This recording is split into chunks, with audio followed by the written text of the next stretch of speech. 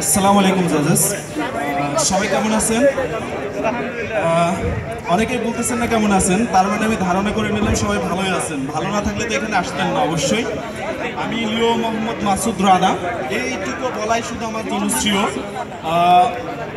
এখানে যখন আসি, আমি এসেছি ক্যাব পরে কেন ক্যাব পরে এসেছি জানেন? কারণ আমার বাসায় নেই ম্যাপ, আর নষ্ট পানির ট্যাপ এই জন্য পরে এসেছি আমি ক্যাব ঢ্যাপ ঢ্যাপ করে। যখন আমি এখানে আসলাম, ঠিক তখনই আমি দেখলাম এবং আমার মুখটা হাসিতে ফুটে উঠল।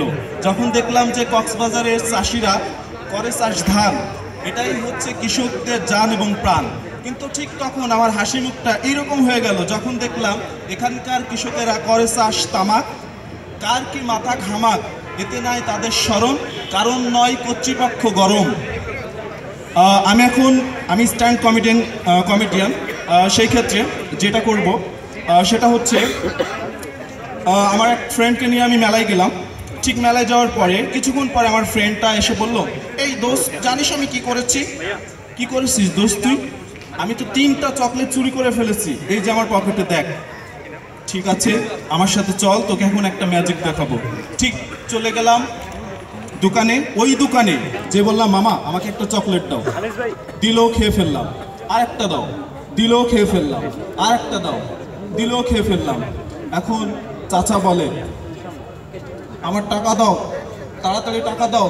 মামা, একটা ম্যাজিক দেখো এখনই। আমি যেই তিনটা চকলেট খেলাম ওই তিনটা চকলেটই দেখেন আমার ফ্রেন্ডের পকেটে আছে। এখন মামা হচ্ছে তার পকেটে হাত দিল, কিন্তু চকলেট তো দুইটা। আরেকটা কই গেল?